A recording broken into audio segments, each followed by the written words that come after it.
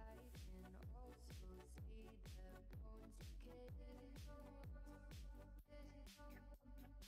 I don't know what else there is to say.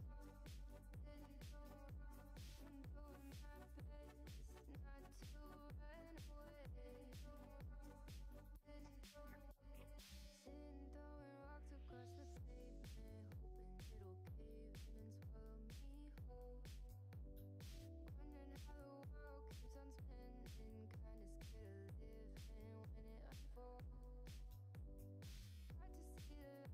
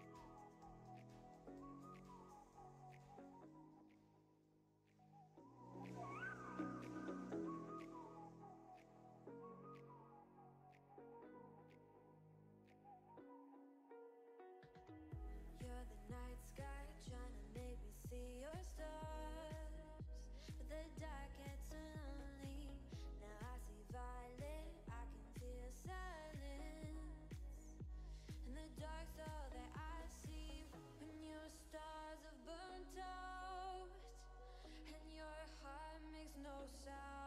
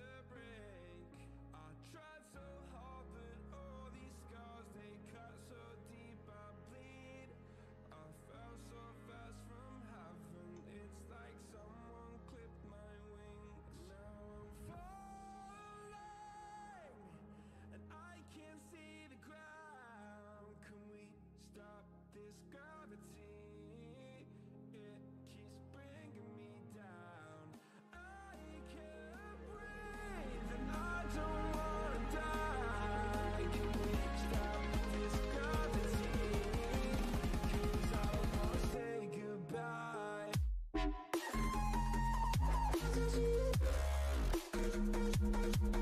you.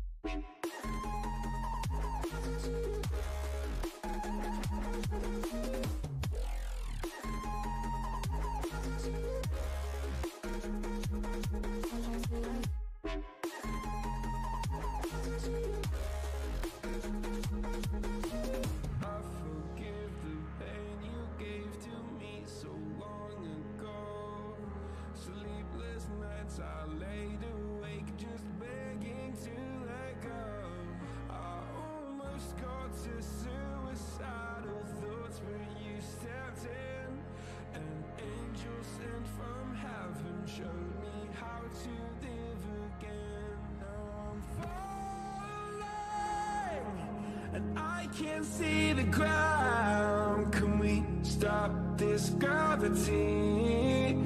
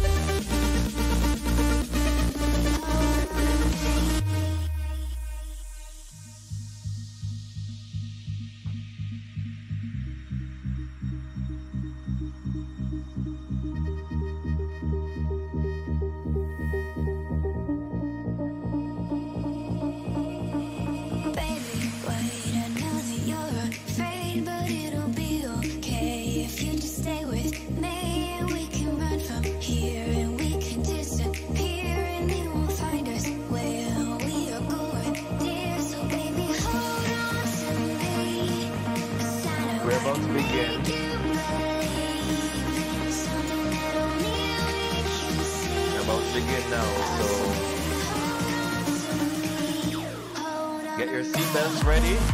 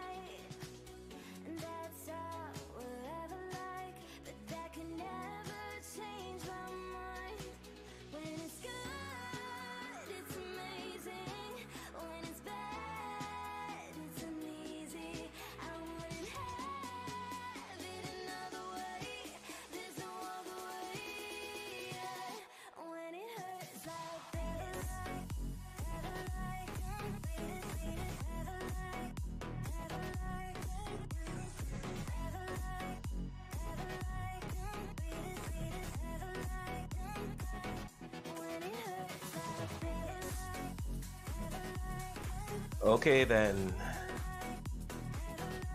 Wow. Hopefully we're getting some good music going.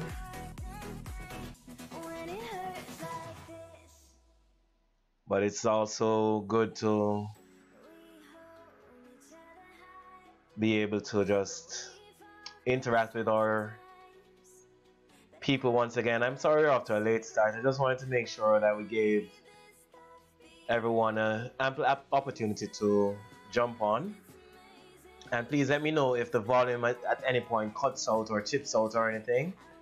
Um, it's important that we are able to hear what's going on. So just let me know if it cuts out in any way.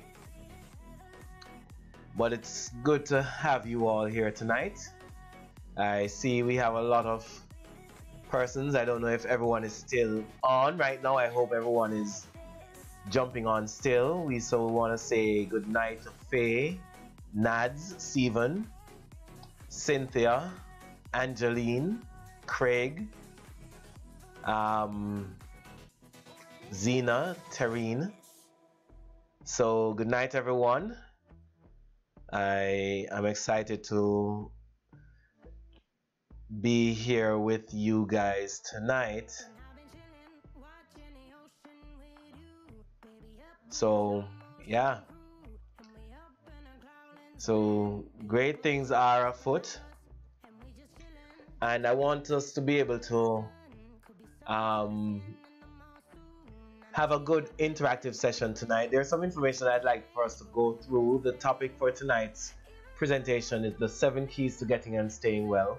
And I want to make sure that we all have an opportunity to, um, you know, share what we know so that others can benefit as well. Um, unfortunately, we don't have an open mic situation as would be the case if we're doing this via Zoom. But um, you are welcome to type in your comments in the chat section, which I will periodically check. I might be a few seconds behind in terms of recognizing it, but as soon as I'm able to check on it and get that to you, um, to get an answer going, I'll be more than happy to do that. So it is with no further ado that we get started with tonight's class.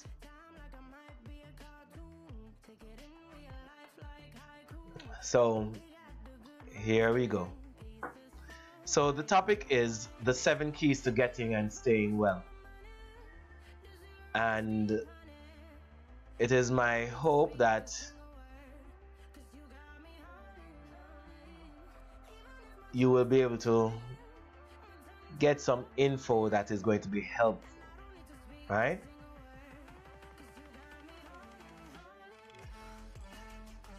So, the seven keys to getting and staying well. The first one is as we're trying to understand this whole thing of healthcare, for me, it is important that people make unemotional decisions when it comes to their health. And I am totally against the idea that we ought to be trying to use fear as a justification to get people to do what they ought to do. I think the use of fear is not only is it unethical, but it is impossible for people to be able to objectively think when they're fearful. And so any decision that somebody makes that is based on fear ceases to be ethical, in my opinion. And so even if you end up making the right choice, if the right choice comes about through fear, then the does the end justify the means? Yeah, does the end justify the means? And we can use this um, concept in different scenarios to understand, you know, what it will be. And you have to determine that for yourself, right? But for me, the end certainly doesn't justify the means, and I think that people need to be able to be provided with appropriate information so that they can make wise choices, correct choices for themselves and their families that's in their own best interest and, and, and the best interest of their health. All right, so that's how I look at things. So, shall we begin? Yeah. So, the seven keys to getting and staying well. Key number one, the uh, understanding of what we mean by sick care and how that applies to the current healthcare system model. So, when we're talking about sick care, sick care is the is treating persons or treating your clients based on an illness that they have and not necessarily trying to optimize their health. You see, there are two ends of the spectrum when you talk about the, the health continuum.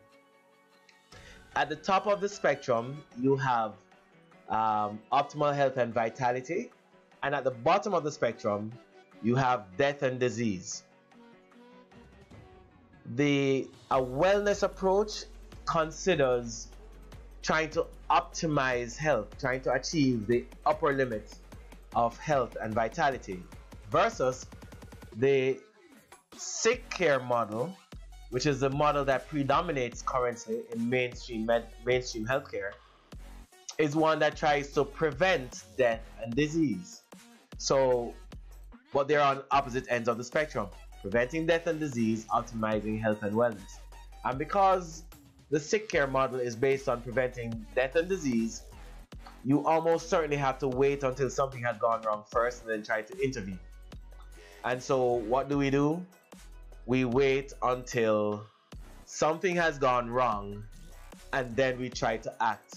And the definition of that, we call that a reactive system. So, I'm going to ask that if you're able to just make some jottings, make some notes, feel free to do so.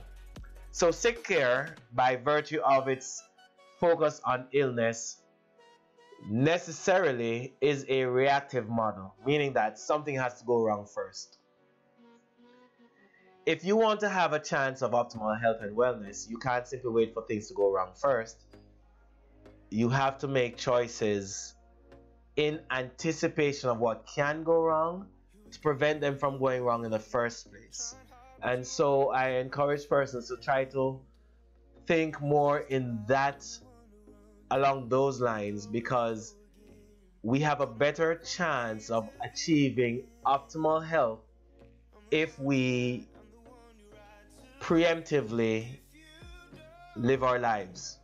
So if we know that eating a, a, a plant-based diet primarily will lower the likelihood of us developing heart disease and then instead of eating a plant-based diet we eat all the meats that we want.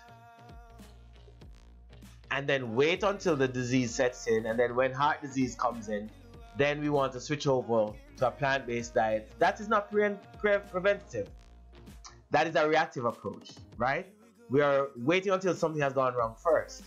Um, there are many people who treat all aspects of health that way. And hopefully by the time we're done tonight I would have convinced more of you to not think that way. So the sick care model is reactive. And if you want to have a, a, a, true chance, a good chance, a realistic chance of achieving optimal health, then we can't wait for that to happen. We have to change our approach, and the approach has to be to one that is more proactive. A proactive approach is way more important than a reactive approach. What do we mean by proactive? We mean that we're setting things up in anticipation of so as to prevent the onset of something going wrong. So we're not waiting for it to go wrong first. We're doing the things that we know we ought to do to prevent the event from happening in the first place. Driving your car, a seatbelt is a preventative strategy rather than driving and waiting until an accident happens and then trying to put on a seatbelt or waiting to see the police to put on a seatbelt. If you put on your seatbelt before you drive out, then that is an that is one way of having a proactive approach. Yes, you're doing something in anticipation that if something were to happen down the road, you would have set things in motion to increase the likelihood of your survival. Yeah, so that is the approach, right? But we are in a crisis situation right now as it pertains to health. Clearly, I don't think anyone can argue with that. And the issue that we have right now as it pertains to health is that we are in a crisis. How many of us are aware that we're in a crisis? If you did not know that, then you may be setting yourself up even further for um, challenges to occur. The challenge that we have with healthcare right now is that we're spending more money on drugs and surgeries we're spending more money on radical interventions. We're spending more money on um, these approaches. But the problem with these approaches is that they don't achieve optimal health. And the problem too with these choices or these um, methods like drugs and surgery is that they're not even treating the cause of the problem. If it is that we are sick because we are making, we're eating unhealthily, or we are sick because we are toxic, we're exposed to too many toxins in our environment, or we are sick because we are living in a stressful en- environment. We have a stressful job, we have a stressful home life, we are living with stress through and through, if this be the case, then how can drug and, drugs and surgery be the solution? You go to the doctor because you have high blood pressure. And more time is being spent looking for a disease than looking for the number one reason for our blood, blood pressure to go up in the first place. Do you know the number one reason for our blood pressure to go up is stress? Simple as that. That's the number one reason. There's no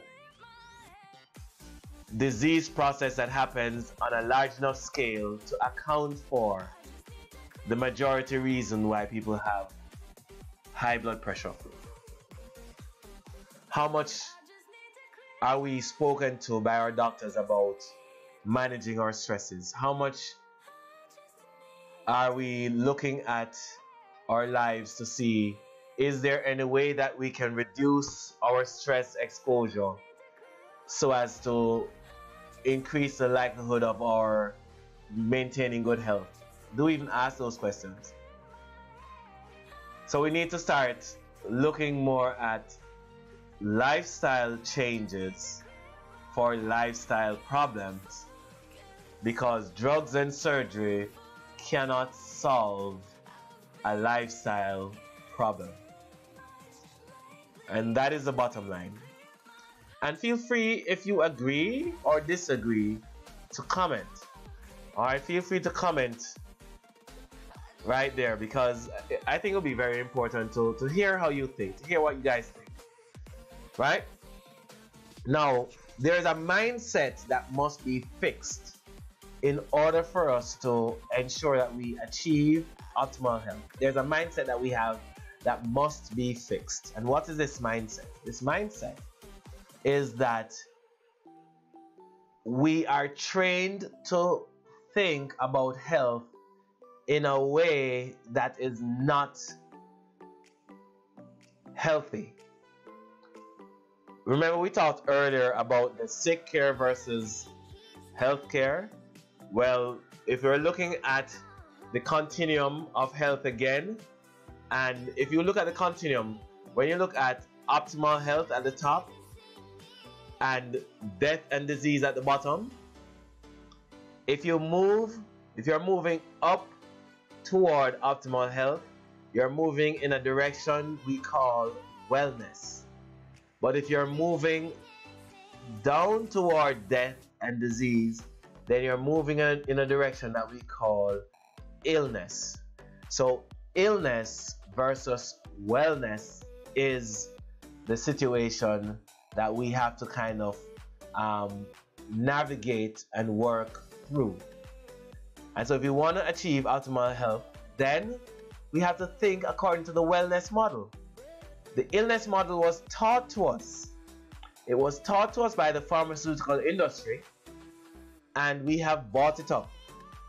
Most people don't even realize that the pharmaceutical industry is the probably probably the largest contributor to um, the funding of mainstream media.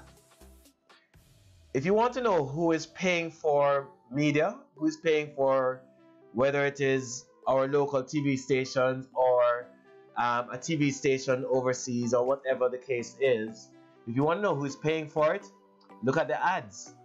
Listen to the ads that are being run. The ads are what pay for these shows. And see what ads are run the majority of the times.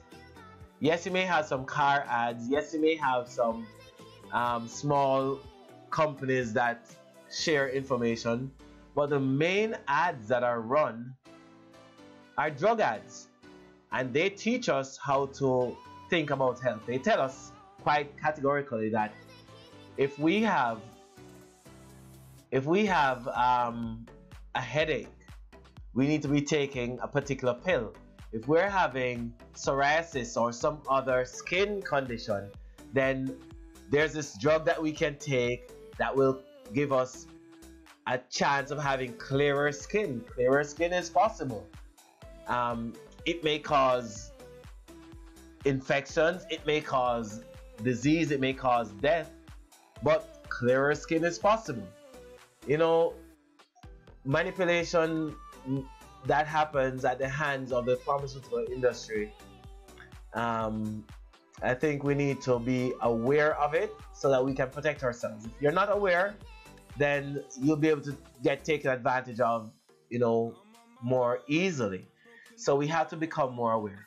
So let's look at it now. There are three things that we are taught, or three ways that we are taught to think that are according to the illness model that I'd like to change for us. The first way is um, if something happens to you, you want to just you ask the question that you ask is what can I take to feel better? You know what I mean? It's like you're thinking about a drug that can be given to you that will ease your pain or ease your suffering or make you feel better. The problem with that question is that there are many drugs that one can take that can improve how you feel without improving how you actually are. And if it improves how you feel and all you care about is how you feel, then that drug can be used to take advantage of you. But if you ask a different question, instead of asking, what do I need to take to feel better? If you ask, what do I need to do in order to get better? Then it's a different thing altogether because now you're looking at achieving a better state. Not just feeling like you're in a better way, but achieving a better state. A state of better health, right? So getting better. If that's how you, the question that you ask, and you might not be as quick to take the pill. Because if you have a headache and you say, what do I need to do to take, what do I need to do to feel, to get better? Then you might be thinking, hmm, can this pill help me to get better? Or is it simply just to get me to feel better? And don't get me wrong, you know, for some people, sometimes feeling better is what they need in the moment or what they perceive themselves to need in the moment. And if you if all you want to do is feel better without necessarily knowing if you're getting better, then sometimes taking a painkiller might be what you want to do. But if optimizing health is what you want, then you have to ask a different question. We have to ask a different question. How about this one? Getting well. Have you ever gone to the hospital to visit somebody who is sick and you bring out a card with you and say, Here, take this get well soon card, right? Because the idea of getting well does not confer any action to it. The idea of getting well is more of a wish. You're hoping that the person will get well. You're wishing that, you know, they will wake up tomorrow and that they will no longer need to be in the hospital and they can go home. You're not thinking about what they need to do to change the situation that they're in to improve their lot so that they can become healthy and to stay healthy, stay well. No. You want them to just miraculously achieve it. Well, the problem is that wellness is not a is not a destination to attain. It is a journey to be on it. It is a process. It is a it, it is an ongoing path that one must travel in this idea about wellness. You see, wellness is not the destination. Wellness is what you do to day in and day out to get to, to, to optimize your health. It is a process, it is a journey. I remember driving to the country once where my goal was just to go to visit somebody in St. Elizabeth. And that was my goal. I didn't care about the journey, I just wanted to get to visit that person.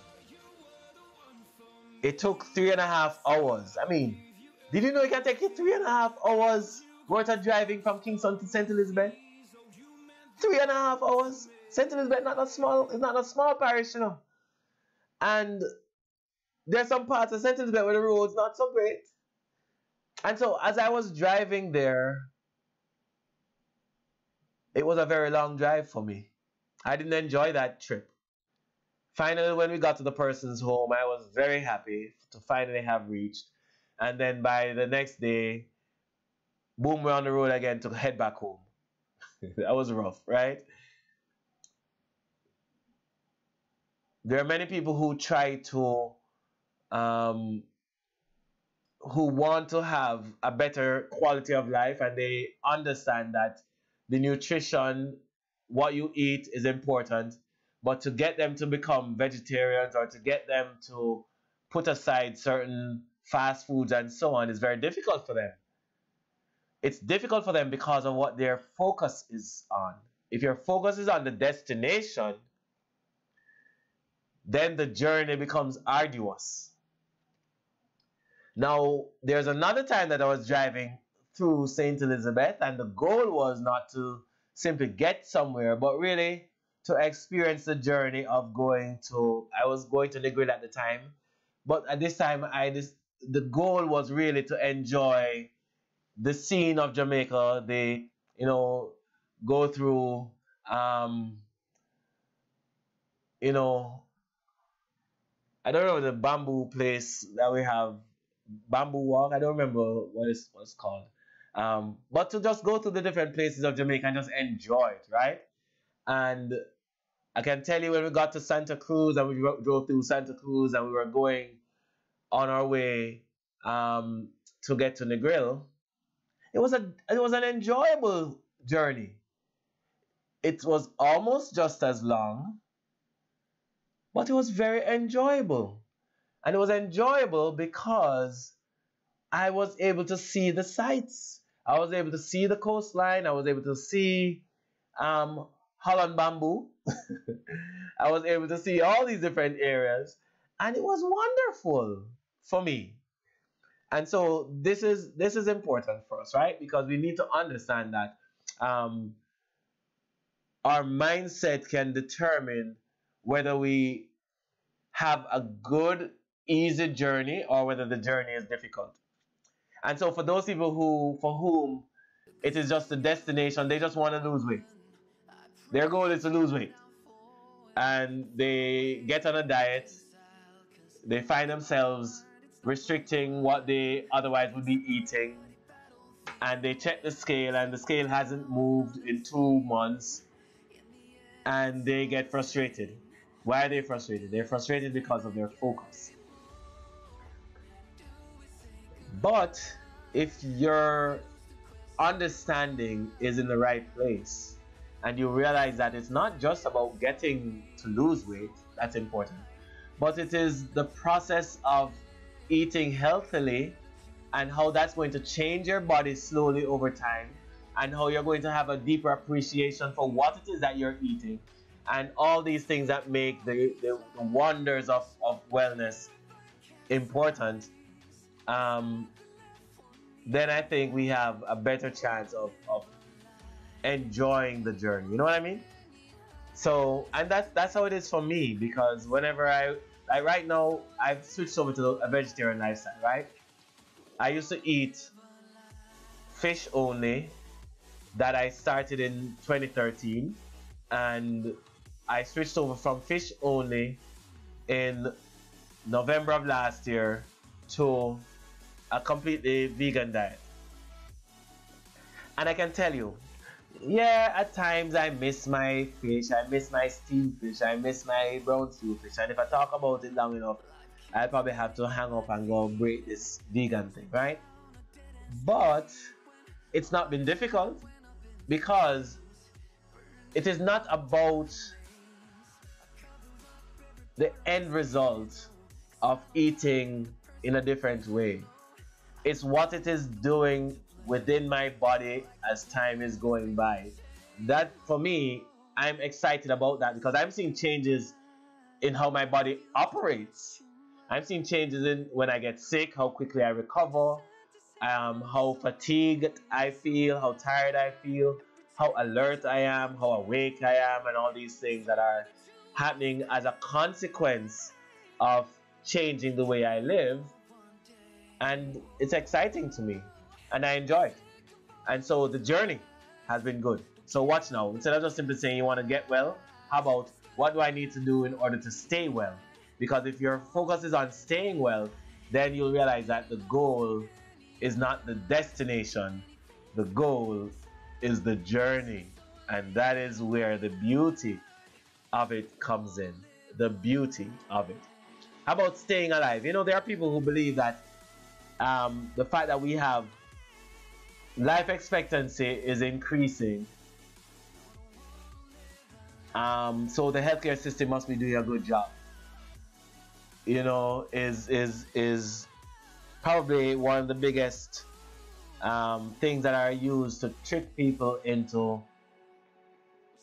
accepting that the healthcare system is really doing a great job at health, right? If you want to know if we're doing a good job of health, look at the health numbers. Because with all the money that's being spent on drugs and surgeries, still the number one cause of drug related death are properly prescribed medication. Did you get that? The number one cause of drug related death happens to be properly prescribed medications. In other words, it is not from doctor error, it is not from illegal street drugs, it is from properly prescribed medication. That's the number one cause of drug related death. Many people didn't even know that. And so the whole drug scene is something that we need to understand and understand well so that we can make choices to protect ourselves, right? Now, let me show you how life expectancy works. If half of the population dies at 100 years old and the other half of the population dies at 2 years old then the average life expectancy would be 51 years i mean it's not that right it's not that bad more way more than half people well no half of people will not live to be 100 but certainly um, half the people will not die by two. But just as an example for easy numbers, right? Half live to be 100, half die at age two. The average life expectancy is 51 years. 102 divided by 2, 51 years.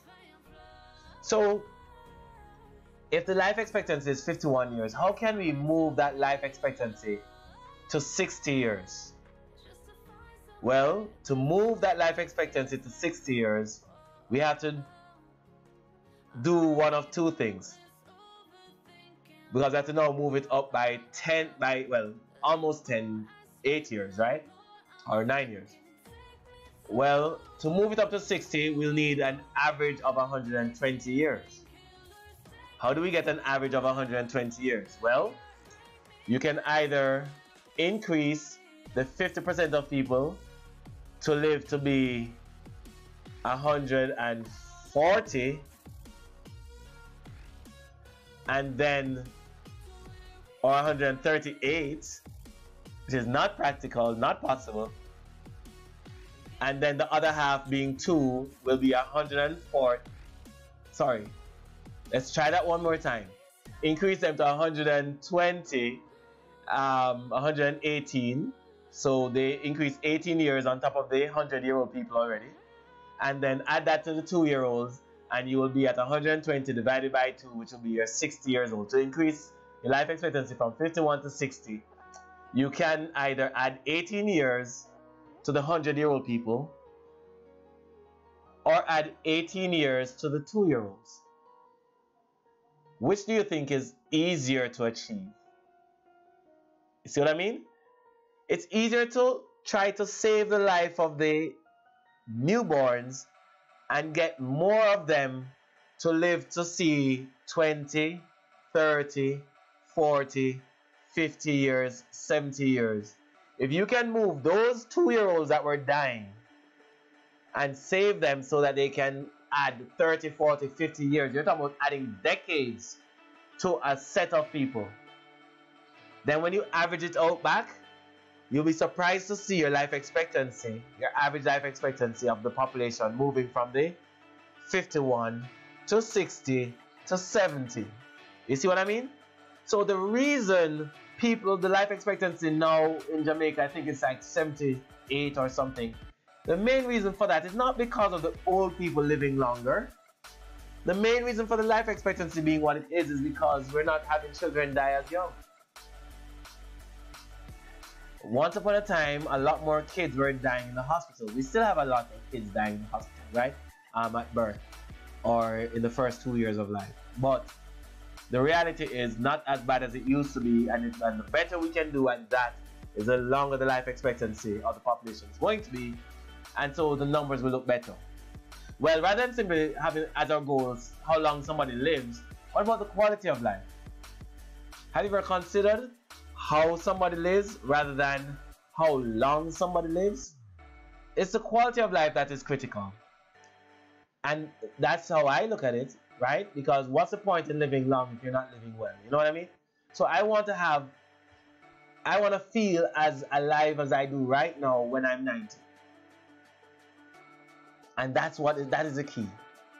So my hope is that we will understand that by making these subtle changes in our thinking, we can move away from the illness model over to the wellness model. That is more important because according to illness care, the illness care model says that we want to just feel better. The wellness care model says that we want to get better. According to illness, getting well is the goal, but according to wellness, staying well is the goal. And in the illness way of thinking, you just want to stay alive, live as long as you can. But my estimation, it is way better to not only stay alive, live, stay alive, but to feel alive. So, feel better becomes get better. Get well becomes stay well.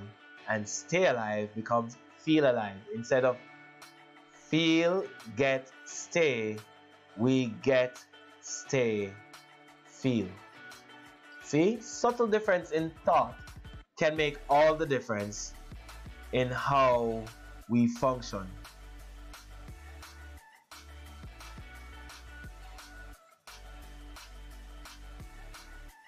Let us continue, shall we?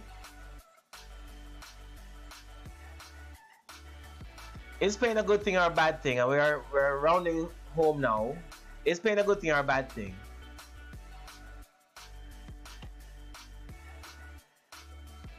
some people say good, some people say bad, but the bottom line is that there's a purpose to pain. Um, it alerts us that something has gone wrong, doesn't it? And it also tells us that we need to do something about it. Because if we do nothing about it, then we will continue to we'll continue to do badly, right? Yeah, Craig, I see you. Um, I figured you would say bad thing. um, and some other people would agree. Some people might say good thing. Yes, Derry Berry, Darian, I see you would say good thing. So Darian disagrees with you, Craig.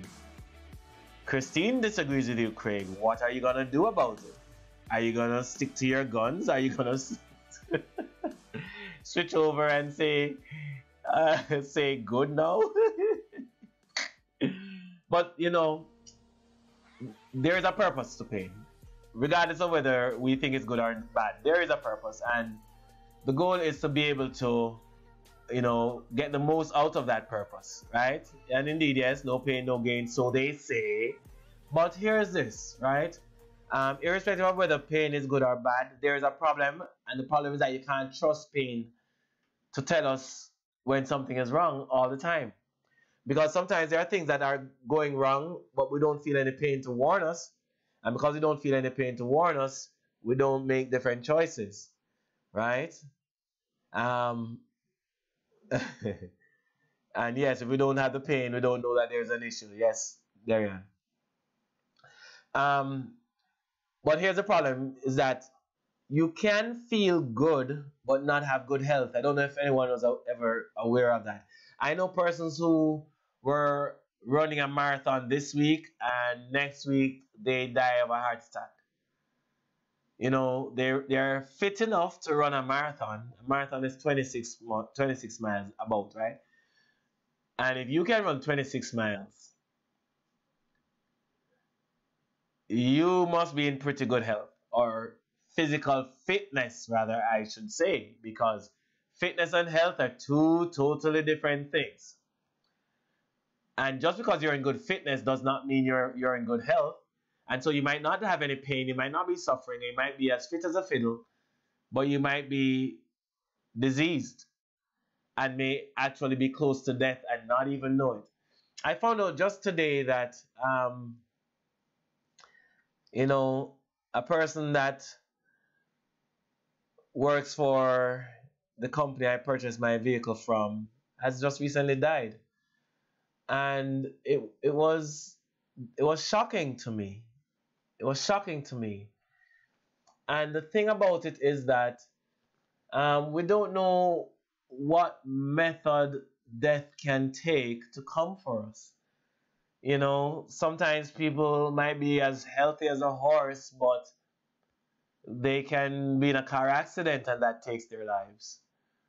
Or they might be walking and slip and hit the back of their head. This is how I lost my uncle. Um, he was 59 years old, I believe it was, and you know tripped on the stairs and hit the back of his head, and that was it. You know, he had to be in a medical induced coma, and eventually he died. So, and he was pretty healthy. So, life and death, the power of life and death rests in God's hands and God's hands alone all we can talk about is not how long we live, it's how well we live. And so it's a quality of life that is important, right? And how we feel is good, but it doesn't tell us that we're healthy. You know what I mean? Feeling alive is important, but it's not just about feeling alive. It's also about making sure that you do whatever you can to get better if there's an issue and to do the things necessary to enjoy the wellness journey by staying on it. You know, so it's not just to say you're gonna feel alive and that's all you do, right? And so this is important, right? Now watch this carefully, right? Because good health, good health means healthy function. Good health means healthy function. Our bodies must be working properly to be able to get the most of it. So we need to start trusting how, how our body is working and not how our body is feeling. Right? Trust our function, not our feeling, to guide us, to let us know whether we need to make any changes in our lives. So it's not about pain anymore. It's about making wise choices in life. So if you look at the different systems of the body, and there are several different systems. The immune system, the digestive system, cardiovascular, integumentary, respiratory, endocrine, reproductive, excretory, musculoskeletal, skeletal, nervous system. Um, I don't remember if I had said immune system, but these are the systems of the body. And if any one system is not working properly, can we claim to have good health? Good health? Can we claim to have good health if any one of these systems is not working properly? And the answer is no. We cannot claim to have good health at all if our system is not working well. So that's very important. Very important, right? But look at this carefully because I want you to understand that even though all the systems have to be working well in order for us to be well, there is one system that is considered to be the master control system of the body. Meaning that if that system is not working properly, then it can affect the function of every other system. And if that system is working properly, then it can regulate properly the function of every other system. So, what is that system? That system is our nervous system. That system is our nervous system.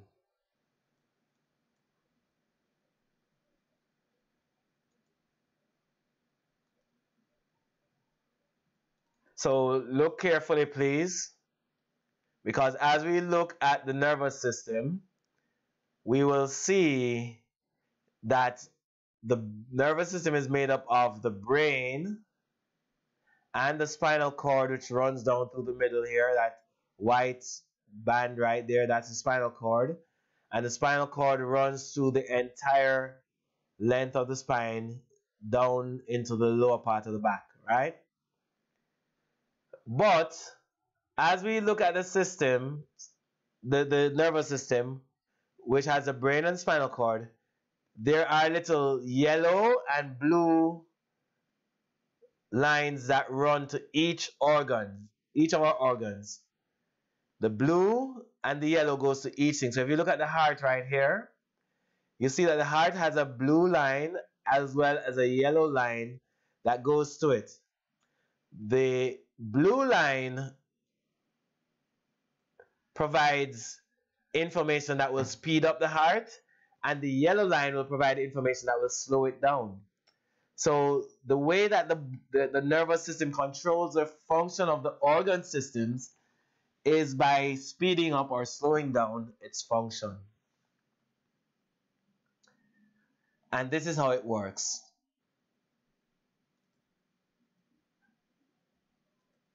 This is how it works. And so it is important for us to ensure that we are treating the nervous system with urgency, with importance, because it is very important. Because if it's not working well, it can mess up everything else. If it is working well, it can help to regulate everything else. And so even if your cardiovascular system is not perfect, if your nervous system is working well, it can help to regulate its function so that it functions more appropriately than if it were not the nervous system were not working well at all. And so watch carefully, please, because the nervous system is considered the mass control system of the body. A misalignment in the spine because the nerves of the the nerves that travel through the spine can be impeded if the bones of the spine are out of alignment. Very important. And a vertebral subluxation causes nervous system dysfunction. A vertebral subluxation, and that's a name given to a misalignment. It's called a vertebral subluxation. it causes the nerves to not function properly. So I'm going to show you something here. Hopefully it makes sense to you. If you look at this diagram, the middle bone right in here is out of line with the rest. Can you see that?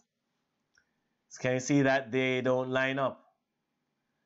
Now there's an opening right here between the bones where the nerves use to exit between the spine to get to the body. Now look at what happens to the opening for the bone that is out of alignment.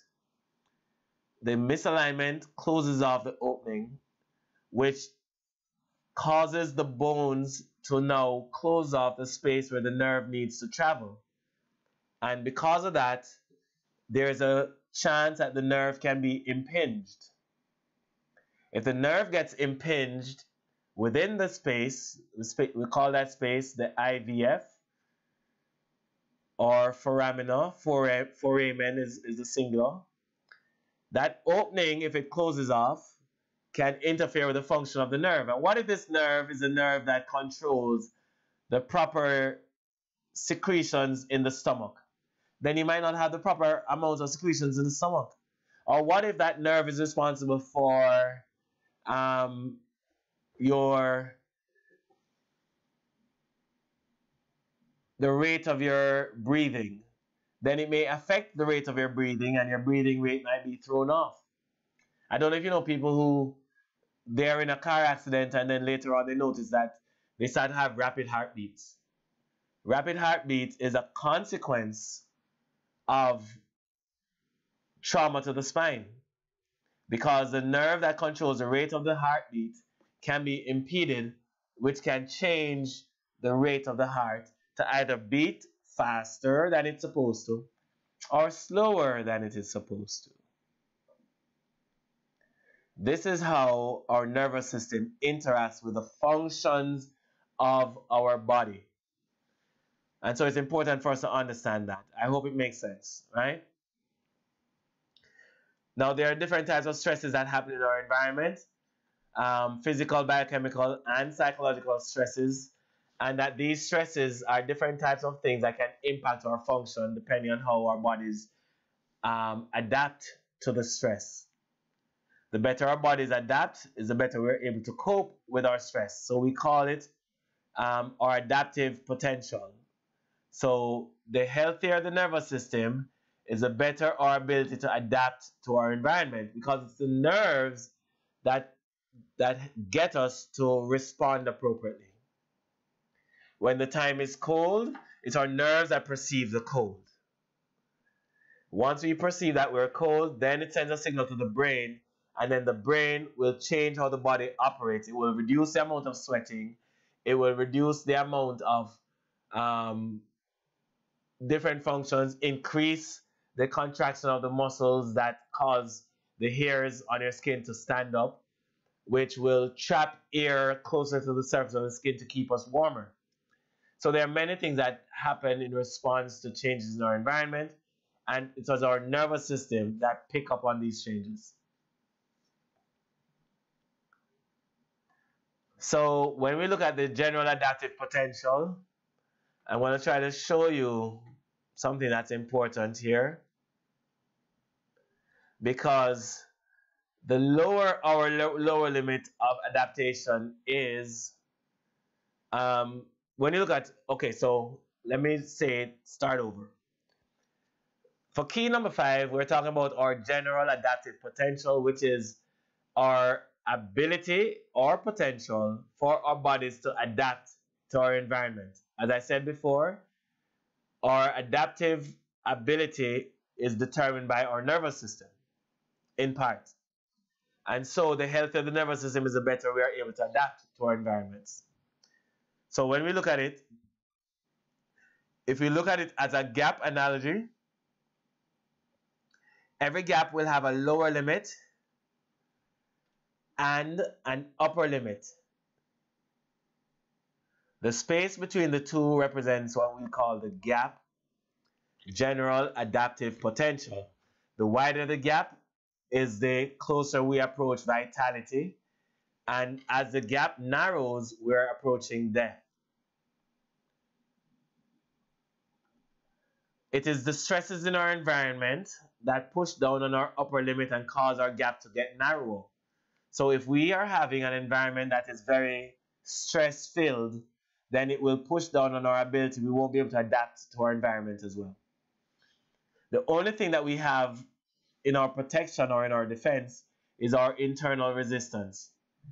This internal resistance is what allows our bodies to resist the coming down or the lowering of the upper limit. Now, if our external stresses outweigh our internal resistance, then it's going to cause our upper limit to fall down. And our life experiences, which we hope will operate completely within the boundaries of our ex existence, the life experiences are important for us because as long as they occur within the, the boundaries of our adaptation, we can adapt to it. We only fail to adapt to something if it exceeds our upper limit of adaptation. So if our external stresses overpower our internal resistance, then what ends up happening is our potential is lowered. And now areas where our life experiences would have exceeded our gap are now areas where we are vulnerable to disease. For some families, this might be diabetes. And so in your family, maybe you're vulnerable to diabetes. And if you are vulnerable to diabetes, then there is a greater chance of you now developing diabetes if you allow your internal resistance to fall or allow the external stresses in your environment to overpower you. And that's why, even if everybody in your family is diabetic, if you don't live the way they lived, then you could possibly live without ever developing diabetes. But because it is a hotspot for your family, it might be the first place that you will succumb to something if it is that you fail to take the necessary steps to keep yourself healthy. So maintaining optimal health is important. Chiropractic. Chiropractic improves the function of our nervous system. Chiropractic improves the function of our nervous system. And because chiropractic improves the function of our nervous system, and it is our nervous system that allows us to adapt to our environment, then chiropractic is a tool that can be used to improve our ability to adapt to our environment. But it is not the only tool because it doesn't matter how many adjustments you get. If you do not live your life in such a way as to maintain optimal health, you're going to have a too great a chance of, of having a problem, right? So you have to ensure that you're living your life in all dimensions to do what you need to do to be healthy, not just one or two things, and certainly not just chiropractic alone.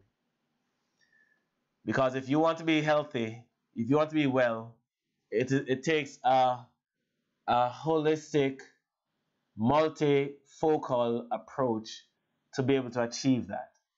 All right? So there you have it.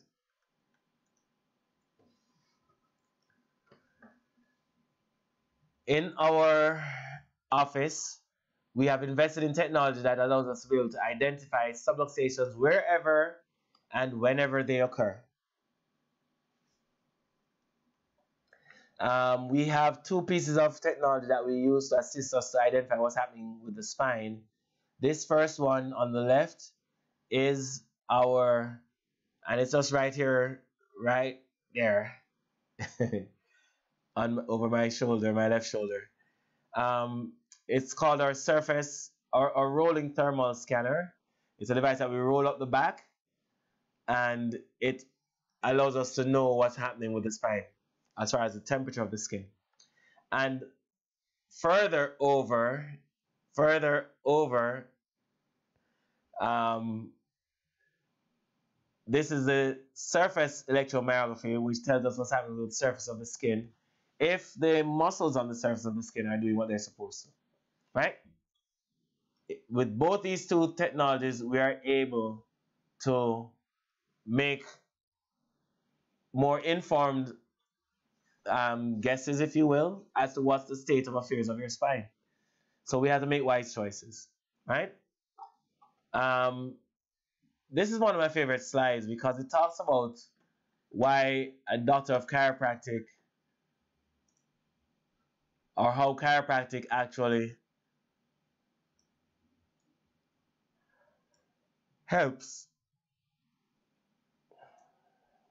how chiropractic actually helps the nervous system now if it turns out that it really does help the nervous system right then we are expecting that it should help the brains as well. And so just to zoom in closely here, on the left-hand diagram, this is the brain before an adjustment was performed on a lady, and this was her brain after the adjustment was performed. Before the adjustment was performed, you'll see different areas of lights all over the brain. The areas of lights are areas of activity. And this corresponded to her doing a task which was simple. It was the task that she was asked to do was to wiggle her left ankle. And because she was asked to wiggle the left ankle,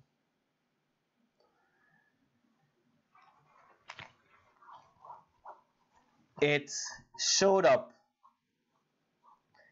as an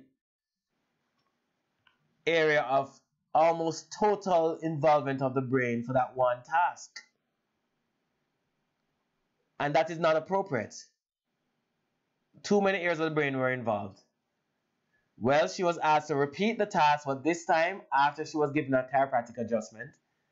And when they looked at her brain activity, we had far fewer areas of the brain that was lighting up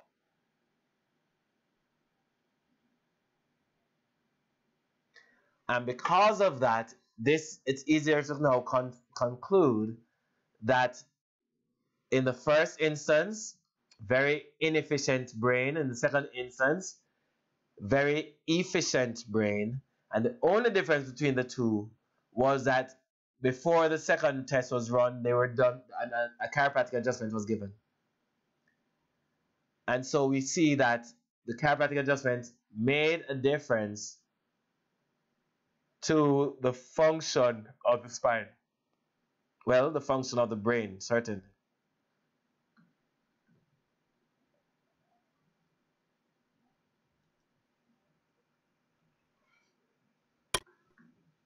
And please remember to subscribe to our channel if you haven't already done so. And click the thumbs up so people can know that you know you like the content. Alright, so moving forward, we're about ready to finish up now, right? Chiropractors are not considered to be bone doctors. Chiropractors are not bone doctors. We are nervous system doctors.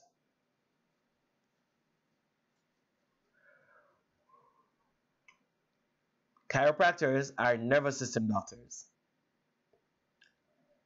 And that is important.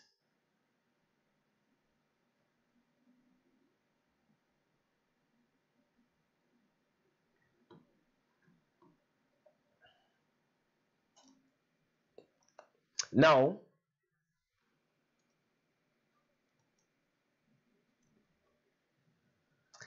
how about this? Most people by, by now would have recognized that I have a subspecialty within the field of chiropractic called chiropractic neurology. And as a chiropractic neurologist, I have specialized training. The regular chiropractors, as a chiropractor, I'm also trained to realign the spine. But our practice as chiropractic neurologists also include retraining the brain itself. As chiropractic neurologists, we are also equipped to retrain the brain. And so we do exercises and so on to help us to achieve this. And this is important, right, to point out. And there are many technologies that we use See? There you are. There are many technologies that we use to um, improve the function of our human population. Hello, Miss Monica. And good night, Faye. And Paulette, good night. I see that. Sheila, good night as well. Mary, see you. Um, but there are many different types of patients that do come to this office that we do treat, and we have seen various degrees of success with the different types of conditions that I've listed here.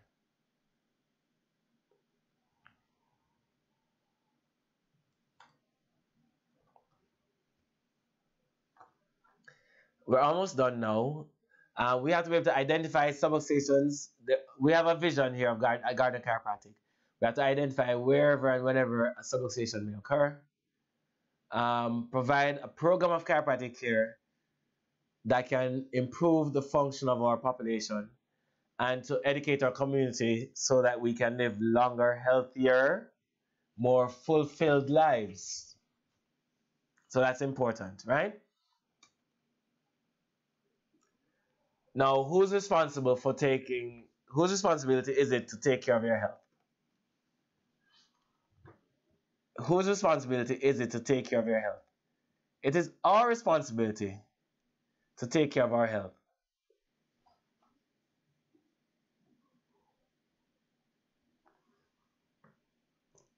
Whose responsibility is it to take care of the health of our kids? It's also our responsibility to take care of the, the, the, the health of our kids. Because we can't expect our kids, unless they're adults, to make wise choices and to and so on.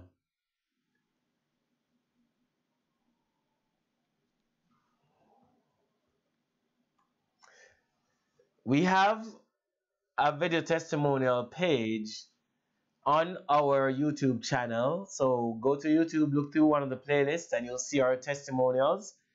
Click through, look at some of them, see what you like, I like some of this. This is one of my favorite ones. Um, you'll be surprised about some of the things that chiropractic care has helped persons with. So, before I close off, I want to just extend a special offer, and I'm asking that if you have not yet indicated by putting your name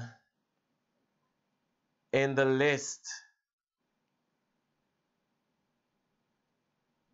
please be sure to do so in the chat section, comment in the chat section so that we can know that you're here because there's a special offer for those of you who are not a patient who would like to consider becoming patients. Um, and that is you will receive a 40% discount off the new patient examination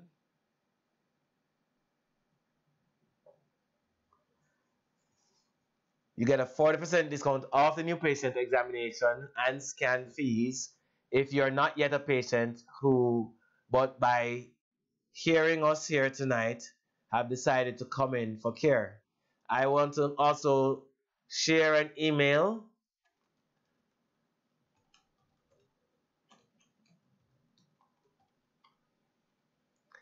and the email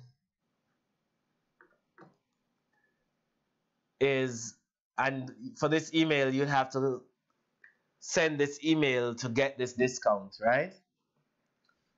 Send the email to appointments at gcnjamaica.com and as that email is sent just indicate that you were in the class and you wanted to take advantage of the 40% discount for new patient exams.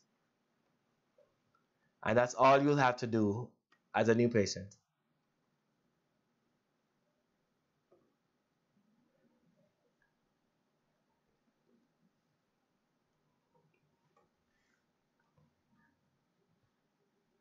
Now, if you are already a patient of ours, then just a few things. And for those who have are repeat visitors to this show, this class, just understand that it's a one-time offer for this particular one. But for the first one, which is the 20% discount off your update exam, that's a one-time offer. If you come again, you don't get a 20% discount again off another one. It's just a one-time offer. Um, but you also get a 20% discount off one treatment per person that you refer. So, but this one is multiple offers. So if you refer five people, then you can either get a treatment free by getting five 20% discounts off one treatment, one treatment, or 20% discount of five treatments if you refer five people.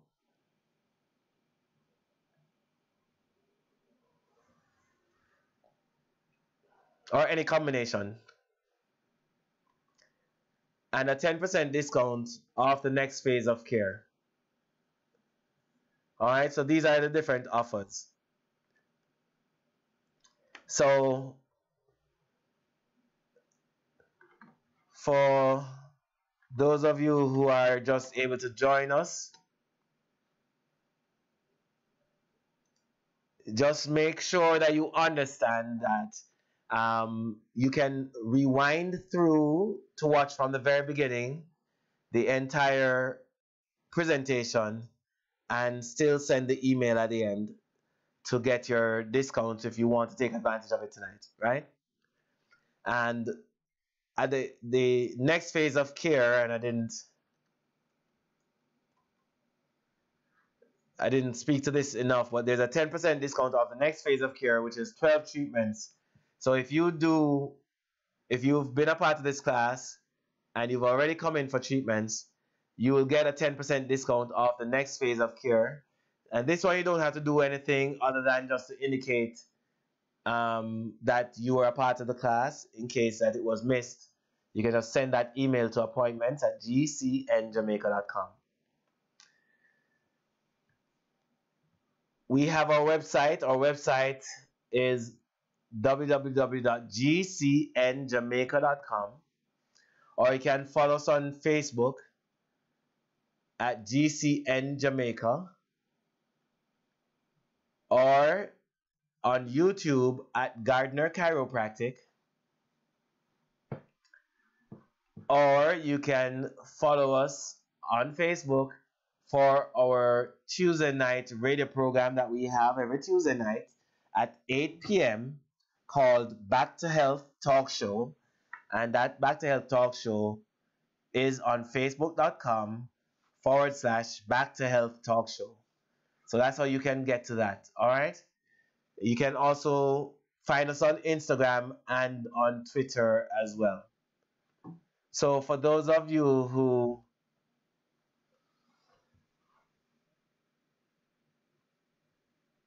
have been able to join us, I hope that you can tune in and check us out in the other platforms I'm going to, as a, as a bonus for all of our patients who tune in to see us, and please make sure you're subscribed so whenever we do go live, you'll be alerted.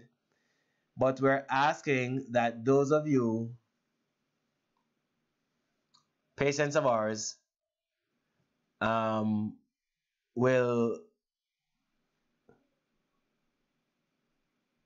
I lost my train of thought there just for a second.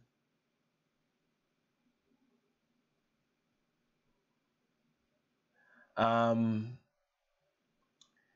but yes, make sure that you subscribe to our channel so that whenever we are live, um, you will be notified of us going live. And the reason that is important is that I'm planning every fifth Thursday of a month, every fifth Thursday, I'm planning on having um, I'm planning on having a what do you call it? A movie time with the doctor. So we're having a movie time where I'm gonna go through some health one a favorite of mine, just something that I love, right? So that we can get the most out of it. So for those of us who are able to um, feel free to to join us, right? Um, on that. So make sure you're tuned in. All right. It was a pleasure. I'm gonna try to stick online a little bit for about five minutes or so afterwards to answer any questions that anyone may have. It was indeed my pleasure being able to be with you tonight. And it is my hope that you would have learned something and that you would have making the most of um, the situation. So may God bless you and keep you